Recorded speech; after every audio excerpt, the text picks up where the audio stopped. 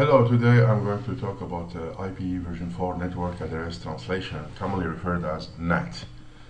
Uh, the first thing we're going to talk will be uh, IP version 4 address space. IPv4 address space has been classified into five classes, class A, class B, class C, class D, and class E. The first three classes, class A, class B, and class C, are, are unicast classes. Class D is a multicast, it's used for multicasting, and class E is an experimental class. So if you want to use an IP address in class E, you should be a member of the multi of the experimental group. Now for unicast IP version 4 address class, these are which is uh, the, which are the first three classes, class A, class B, and class C. Imagine a source computer communicates with destination 1 machine and destination 2 machine. So it's kind of one-to-one, -one, it should establish one-to-one -one session with every destination. So the source machine is going to establish a one-to-one -one session with, with destination 1 and the bandwidth required for this will be 1000 kilobits per second. Also, the source machine will establish one-to-one -one session with destination 2 computer and the bandwidth required will be 1000 kilobits per second. In fact, what happens? Source machine needs to replicate bandwidth for every session it needs to establish and the bandwidth of the source machine which is needed or which is required at the source computer is in fact 2000 kilobits per second in this example. So if the source machine needs to communicate with 1000 computers, it needs to establish 1000 sessions and each session has its own bandwidth so just multiply the bandwidth of each session by 1000 or let's say you add you make a, a summation or addition of all the bandwidth required by every session and you end up having this required bandwidth at the source machine. So in order to avoid this kind of problems in some situations, you can go for multicast. Multicast IP version 4 address class is defined in class D. So class D is a we can model is a kind of one to one to many session model where a source machine will uh, deliver traffic to destination 1 and destination 2. Now, the destination IP address used should be an IP address that belongs to class D. So the IP address should be multicast IP address. Destination 1, destination 2 will receive the packets because they are members of the multicast uh, uh, address group, multicast group. Now, if the traffic uh, generated by the source to destination 1, destination 2 requires 1000 kilobit per second, this is it. It's not going to be replicated. So only one session or one uh, traffic session needs to be generated by the source. Now the packets will flow through the internet or intranet and whoever is member of the multicast group is going to receive them. So it does not need or it does not suffer from the bandwidth requirement as uh, it happens in, uh, in uh, unicast.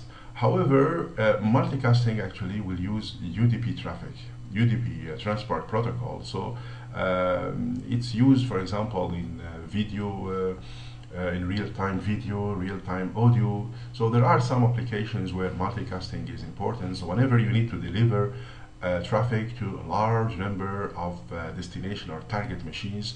So uh, only one data streams needs to be established and that the bandwidth for that data stream need to be concerned or considering only, no need to replicate as this is the case with unicast. Now the IP version 4 addresses are uh, defined in two types. You have the public address, IP address, and the private IP address. Public IPv4 addresses are those IPv4 addresses used to communicate through the uh, internet. Uh, whereas the private IP addresses are those IP addresses that we use in uh, private internal networks or intranets. So the private range of IP version 4 addresses are reusable in different locations. So each company can have its own private range of IPv4 addresses. The same range actually will be used and reused in different locations as described and defined in RFC 1918. You can search about this RFC in, uh, on the internet using search engine, your uh, favorite search engine.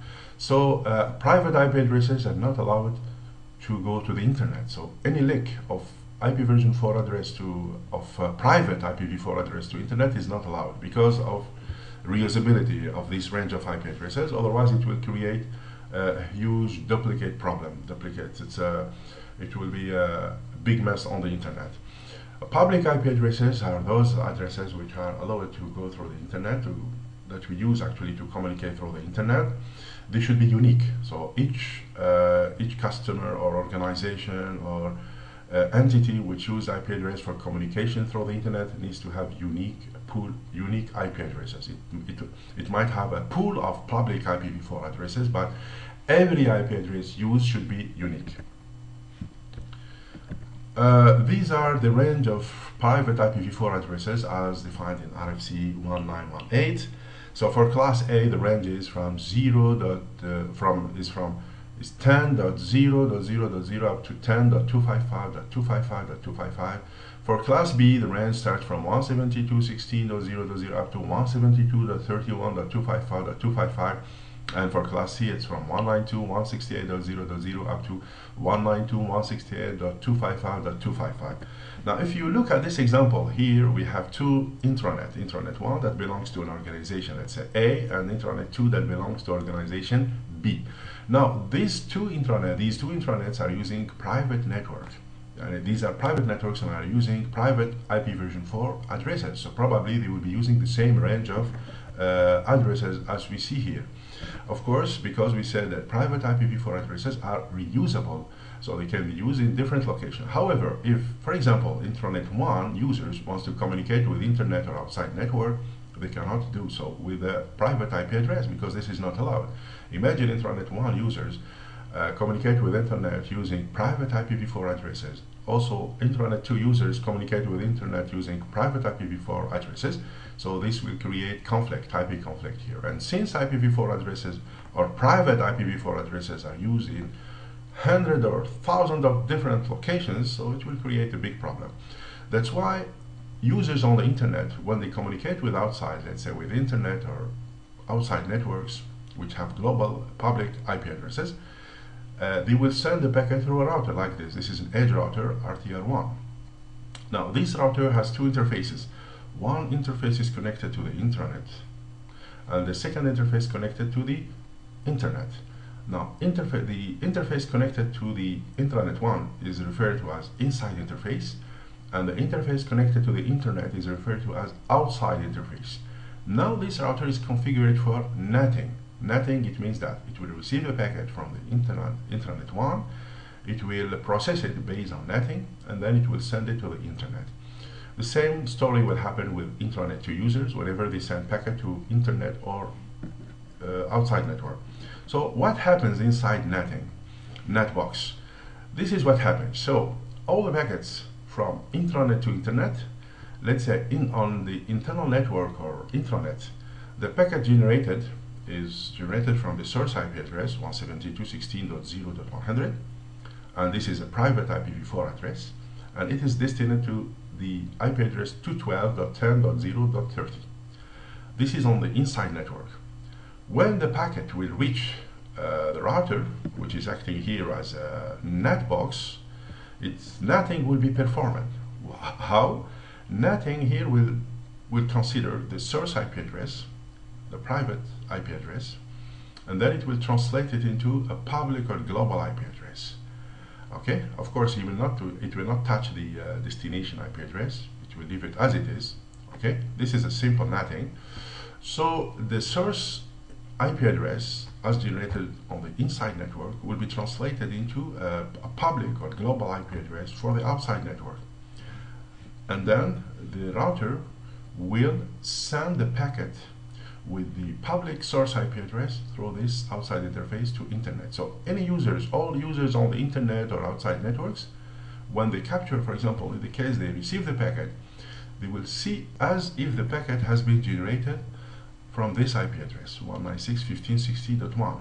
So the private IP address from where the packet was uh, generated, was truly generated, does not show. I mean, it is hidden. All the reply packets from internet to intranet. So when the router will receive, this router will uh, receive the reply packet through this outside interface, it's going to see that the source IP address is 212.10.0.30. This was the destination in the beginning and the destination IP address is 196.15.60.1. So on the outside network, this is how the router acting as a NAT box will view the packet. Now, The router will consult a NAT table, the NAT table that he used previously to do the translation, and it will find that this IP address, this is the IP address into which the private IP address has been translated, which is 172.16.0.100. So what it will do, very simply, is going to take of this IP address and replace it with the private IP address. This is the IP address that belongs to the internal host which started or which uh, started the traffic or the communication. So now on the inside network, the router acting as NAT will forward this packet, will forward this packet with this source IP address and this destination IP address. Finally, the packet will be received by the internal host. Thank you for viewing this presentation. The next presentation will be on NAT configuration. This is Hakim Adish. Bye.